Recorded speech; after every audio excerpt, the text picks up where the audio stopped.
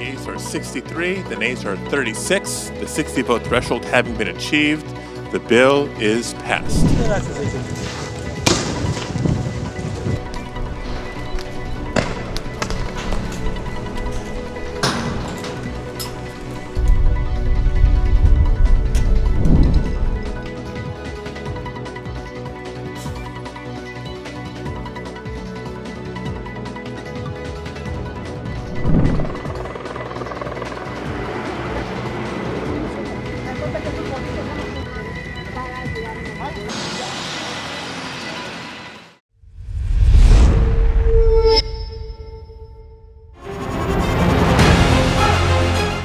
Email exchanges from inside the BBC, they talk about the risk of violating Indian laws.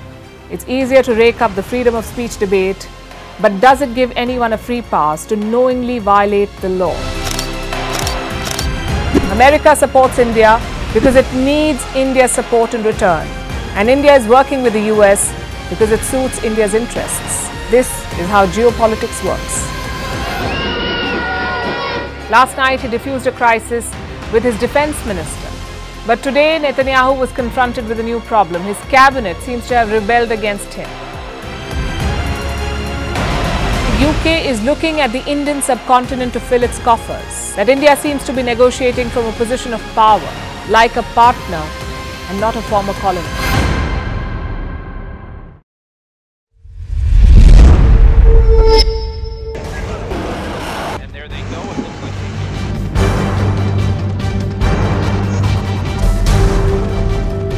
The US and Russia are dangerously close to an armed conflict.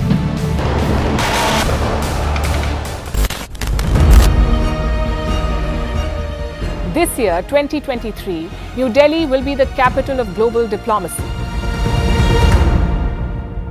For a country as diverse as ours, with 88% of the population illiterate, it was a very big deal to write a constitution, and that too, the world's largest.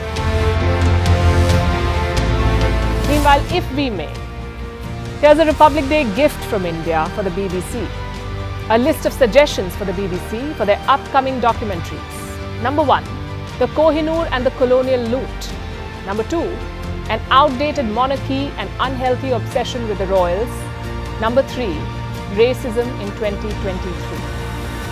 We're waiting.